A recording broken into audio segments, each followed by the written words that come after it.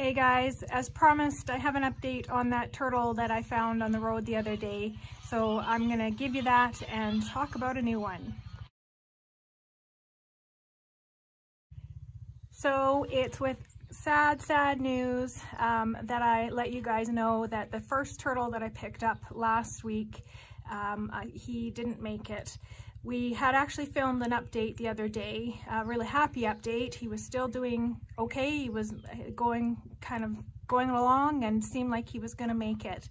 But um, turtles, unfortunately, uh, take a very long time to heal and don't always heal. So like I said in my initial video, they can suffer for a really long time, which is why people should pick them up and take them to somebody who can take care of them. Um, it's unfortunate that he didn't make it, but the one thing I will say is that by taking him to Central Mississippi Turtle Rescue, he would have been taken care of and provided medicine so that he didn't feel pain and that he healed as much as he possibly could, um, or it, his ending was as comfortable as it possibly could be. So I am grateful to them no matter what for what they did and giving me a place to take them. I'm terribly, terribly sad that he didn't make it. It is, uh, unfortunately, it is my third turtle that I have taken or even just talked to them about that didn't make it. Um, it's about the 20th turtle I've moved. I think we had seven, yeah, seven the year before. Okay, maybe not 20. Seven the year before, and we're at six this year. So um, just under 20. And um, what was odd is this morning I took the dogs for a walk on our property and at the very back of our property I found another turtle.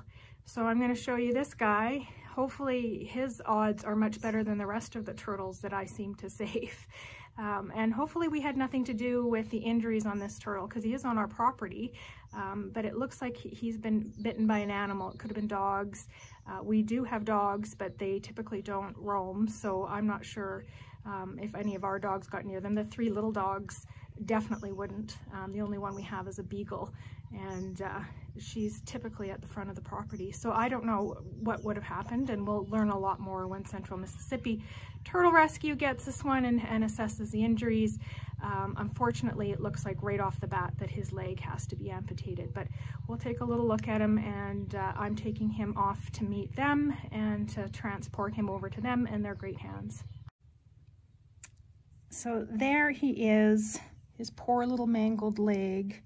Definitely looks chewed on. The reason why I found him or noticed him is he was covered in flies. So he has had um, flies, which is bad for them because they get maggots on them. And he, I'm pretty sure he's got maggots in there.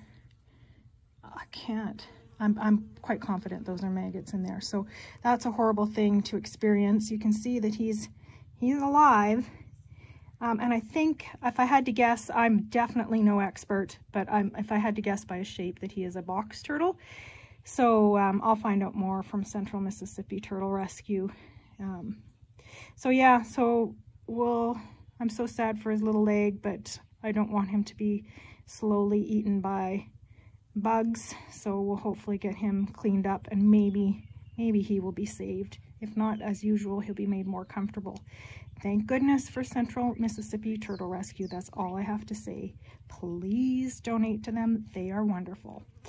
When you get a turtle, uh, you have to keep them in a container and uh, either put them in your bathroom or put them in a place without fly, uh, like somewhere where you can keep the flies off of them.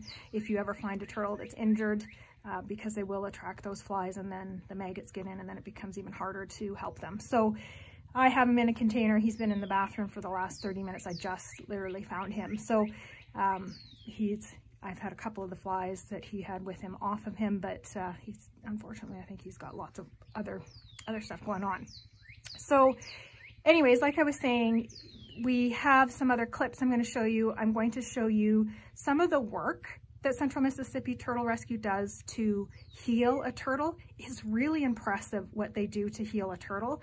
And I don't think people recognize what people will do to help a turtle, you know, a cracked shell, heal, all kinds of stuff. I'm also going to show you a picture of a happy rescued turtle that I just, it warms my heart. And I'm also going to show you one of our rescues um, that is horribly filmed. It is not a Oscar-winning performance by any means, but um, it's just an example of what happens when I'm driving down the road and all of a sudden I see a turtle and here we go, we pick them up and take them off to the side. So it's a terribly recorded, but it gives you a sense of what it's like when I get a turtle. Um, and I'm usually thrilled when I can get them off the road safely, and I do so safely. So I'll, I'll share a couple of videos after this. But other than that, that'll be the end. So thanks, you guys. Be friendly, be kind.